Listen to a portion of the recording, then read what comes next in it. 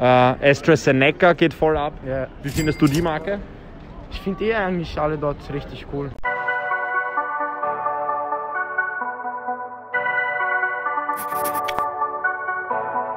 Der Leute, was geht ab? Maximilian am Start und ich begrüße euch zu einem neuen Video auf meinem Kanal. Liebe Leute, heute ist es endlich wieder soweit. Nach langen Warten drehen wir eine weitere Episode von Hypebeasts nach erfundenen Modemarken befragen. Viele Hypebeasts sind nicht mehr auf der Straße unterwegs, aber das Format bleibt das gleiche. Vielleicht werden wir das noch anders umbenennen, aber auch der Inhalt und das, was wir tun, bleibt das gleiche. Wir gehen herum, suchen uns Leute heraus, die modische Outfits tragen und werden die zur Meinung zu einzelnen Marken fragen. Nicht alle Marken sind echt. Wir drehen das heute in der Corona Edition. Das bedeutet, wir werden unter einzelne bestehende Marken, erfundene Marken wie Cove ID oder AstraZeneca oder sonstige Begriffe mischen und mal sehen, ob die Leute zugeben, dass sie die Marke nicht kennen oder ob die einfach sagen, ja, ja, stabile Marke kenne ich eh, Bruder. Deswegen machen wir uns mal auf den Weg, schauen, ob wir Leute finden. Es ist leider nach wie vor Lockdown, dementsprechend schwierig wird es werden, da ein paar Leute herauszufinden, aber wir haben zwei Stunden. Das heißt, irgendwann werden wir schon erwischen, oder? Let's go.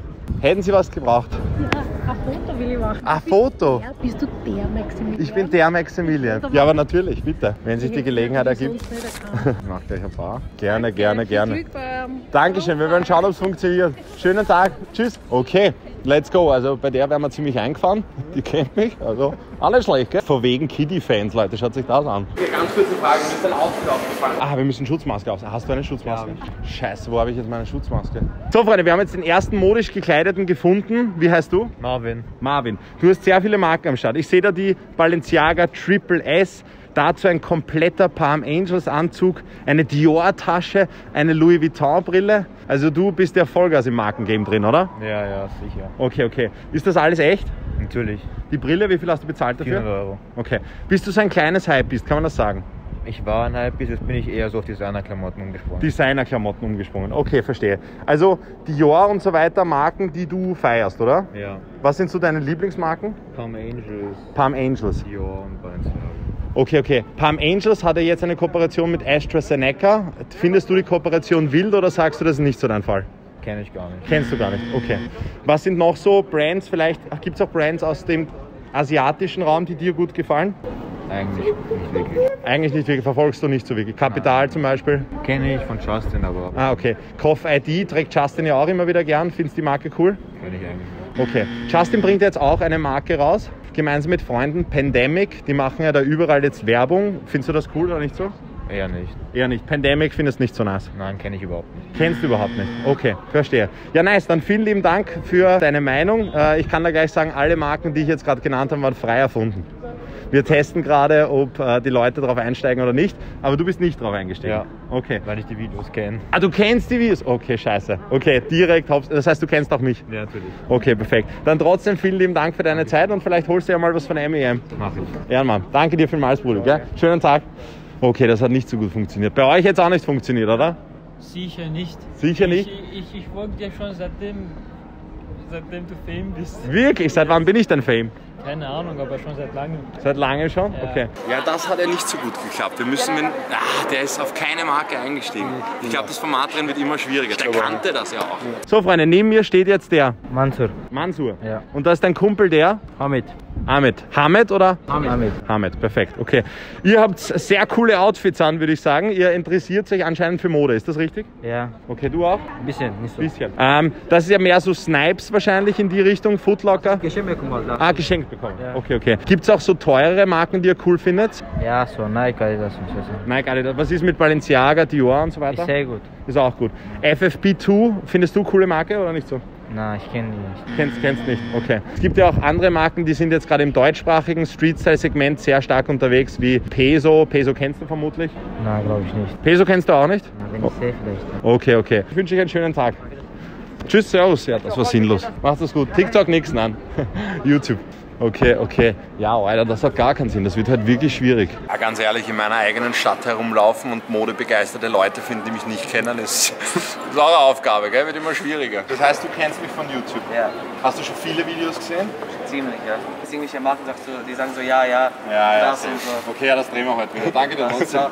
Ciao, ciao. Ah, scheiße, Alter. Freunde, wir haben die nächste modebegeisterte junge Dame gefunden. Wie heißt du? Äh, Anastasia. Anastasia. Anastasia, du interessierst dich sehr für Mode. Ich sehe da die Prada-Bag. Ja, Prada eine Marke, die du feierst.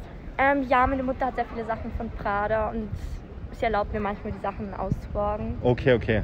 Ja, wenn die viel von Prada hat, dann hat die bestimmt auch Dinge von Super Spreader Studios zum Beispiel. Ähm, ja, also meine Mutter hat eigentlich sehr teure Sachen. Also sie Ja. trägt, sie hat auch Instagram und macht so Fit, also Fitpics und so Outfits, weiter. Ja, so. SSP, also SSS, Super Spreader Studios, eine Marke, die du feierst?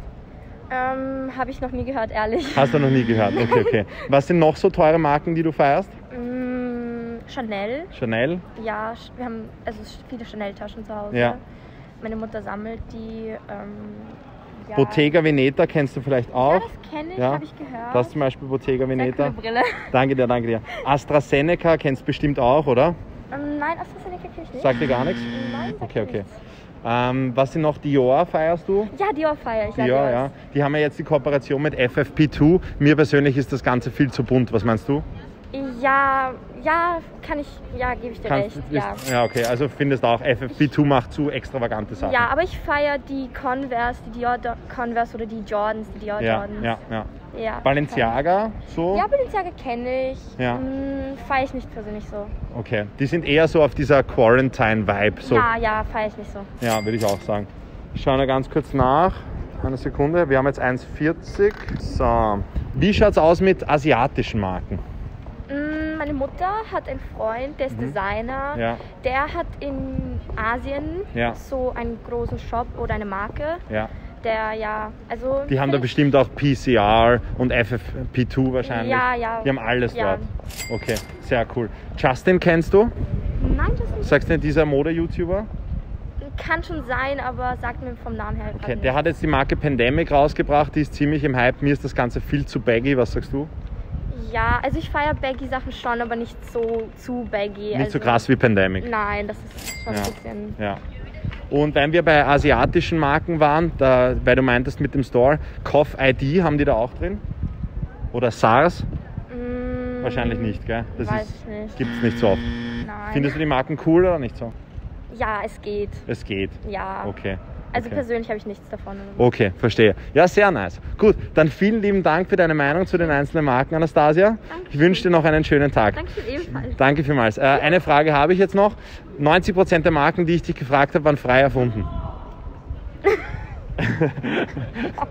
Oh Gott, wie dumm. Macht nichts. Wir machen gerade Hypebeast zu erfundenen Modemarken befragen und schauen, wie Leute darauf reagieren. Am Anfang war es noch relativ ehrlich, aber zum Schluss hast du gedacht, fuck, wenn ich die Marke auch nicht kenne. Aber finde ich gut, finde ich, die Idee finde ich gut, wirklich. Okay. Also findest du nicht schlimm, dass wir da so ein bisschen einen schlimm. machen? Finde ich wirklich gut. Sehr, sehr cool. Finde ich nice, dass du das so mit Humor nimmst. Ja, danke. Anastasia, ich wünsche dir einen schönen Tag. Danke für das Interview. Danke vielmals. Und Danke. du siehst dich dann morgen auf YouTube. Ja, danke schön. Perfekt, danke Anastasia, mach's gut. Yes, finally. Endlich hat's funktioniert. Film kurz rüber, film kurz rüber. Macht es gut, tschüss. Nice. Okay, boah, da habe ich aber arg manipulieren müssen. Wie heißt du? Julian. Julian und du? Acker. Acker. Du hast gesagt, du hast schon ein paar Videos von mir gesehen, aber noch nicht allzu viele, gell? Nein, nein, Wir reden heute einfach ganz normal über äh, Modemarken. Ich sehe, ihr tragt schon, so gern du zumindest, bisschen baggy, straight cut, du bist schon dabei in Richtung customized, die Jeans und so weiter. Das sind Sachen, die gefallen dir. Ja, ja, sehr Okay. sogar. Okay. Was, was sind Marken, die dir gefallen? Ähm, Minimal Represent. Peso auf jeden Fall fahre ich ganz arg. Peso feierst du arg? Peso fahre ich ganz arg. MJ Gonzalez trage ich gern. Okay, okay. Und ja, das sind so meine Favorites. Du? Ja, ich trage nur das, was mir aufgezwungen wird. Was dir aufgezwungen wird, warum Ja. aufgezwungen? Naja, mir ist es egal, was ich trage. Ich ziehe das an, zum Beispiel. Aber wer zwingt dir was auf? Ja, weil Ja? Sonst, sonst Seine Mutter wahrscheinlich. Deine Mutter, oder? Okay, passt lang. Ähm, ja, äh, weil ihr gerade so von dieser deutschen Fas- Fashion Bubble sprecht, Patrick Spector, den, vielleicht sagt euch der was? Nein. Patrick Spector, der hat jetzt seine Marke rausgebracht, äh, PCR, geht auch ziemlich gut. Schon was gehört ja, davon? nein, habe ich nicht gehört. Okay. Quarantine vielleicht, wieder gerade arg gehypt. Mm, Nein, das habe ich auch nicht gehört. Aber kennst du Evok vielleicht? Wie? Evok? Evox sagt mir nichts. Evok sagt, okay, das sagt dir nichts. Ja, Nein. sagt mir nichts. Ich glaube, Also- da drehen wir uns im Kreis schon langsam. Ja, Hast du schon was geholt von Super Spreader Studi- Studios? Nein, habe ich auch noch nicht gehört. Also das sind alles Marken, die euch nichts sagen, oder? Nein. Okay, perfekt. Die waren nämlich alle erfunden. Ja, ja. ich, ich hätte mir den. Das ist ja safe. Ah, das ist der Joke. Wir finden raus, ob Leute zugeben, dass sie es nicht kennen oder eben schon. Nein, wir sind ganz ehrlich und offen. Ja, sehr gut. Gut gemacht, Jungs. Habt euch nicht hops nehmen lassen. Perfekt. Danke vielmals. Gell? Wünsche euch einen schönen Tag und macht es gut. Ciao, ciao. Ciao, servus. Okay, ja, es wird immer schwieriger. es wird einfach immer schwieriger. Hoffentlich findet man noch eine Anastasia. Vielleicht aber auch nicht. Wir schauen. So, Freunde, wir haben jetzt wieder jemanden auf der Straße getroffen. Wie heißt du? Sophia. Sophia. Und du? Simon. Simon. Ihr seid modebegeistert, oder? Du trägst ja die Vierer Jordan, du allgemein mit der Moncler Jacke. Also es interessiert euch das Thema, Ja. oder? Ja, ja. Ja. Auch teure Marken scheinbar. ja. Gerade du gibst gern Geld für teure Marken aus? Manchmal. Ja. Kommt drauf an. Kommt drauf an. Was sind so Marken, die du feierst? Montclair. Moncler. Äh, FFP2 ist auch nice, oder? ja, ja. Ja, ist auch dein Fall. Äh, wie schaut es aus mit deutschsprachigen äh, Street-Style-Bereich? Kennt sich da ein bisschen aus? Es geht nicht wirklich. Patrick Spector, Sagt sagt dir gar nichts? Okay. Der hat jetzt äh, PCR rausgebracht, die Marke. Sagt dir aber nichts, oder? Ich hab's mal gehört. Hast du mal gehört? Ja, ja. Okay, nice, super. Ähm, andere teure Marken, asiatische Marken teilweise, zum Beispiel SARS-CoV-2 geht ja gerade extrem ab. Überall hört man SARS-CoV-2. Keiner weiß so richtig Bescheid, wann der Drop kommt. Mir ist es ein bisschen zu bunt. Was meinst du dazu? Ich finde auch. Ja, Ja. zu bunt? Ja. Allgemein, ich finde jetzt äh, kommen immer mehr Marken nach. Es wird alles ein bisschen zu viel. Auch Quarantine übertreibt komplett, finde ich. Ja, stimmt, stimmt. Alle zwei Wochen machen die einen Drop im Lockdown, das ist auch gestört. Äh, Findest du Lockdowns cool? gar nicht. Gar nicht. Findet keiner cool, oder? Ja. Okay, was meinst du dazu? Wie findest du die Marken? Ich finde die auch mal so, die mehrere bunten. Ich habe die gleiche Meinung wie Simon. Hast du die gleiche Meinung wie Simon? Okay, nice. Was sind, was, was wollten wir noch fragen? Okay, warte, ich schau mal ganz kurz nach. Ja. Ähm, Gerade Paris geht ja immer voll ab mit Modemarken. Was sind da so Marken, die du cool findest aus Paris? Jordan, alles Mögliche eigentlich. Jordan, ja, coole Pariser Marke. Super Spreader Studios, coole Marke. Auch, ja. Ja, finde ich auch. BioNTech finde ich auch nice. Stimmt, ja. Findest du auch cool. Was ist noch cool? Äh, AstraZeneca geht voll ab. ja. Wie findest du die Marke? Ich finde eh eigentlich alle dort richtig cool. Ja. Man kann auch viel kombinieren damit. Kann man viel kombinieren. Ja. AstraZeneca verträgt sich gut mit BioNTech, finde ich. Ja, ja, stimmt. Ja, beides auf einmal kann man immer machen, oder? Ja, ja. ja. Okay, ja, nice, super. Dann vielen lieben Dank fürs Interview, liebe Leute. Und äh, danke für die Zeit. Wünsche euch einen schönen Tag. Macht es gut. Tschüss, servus. Okay.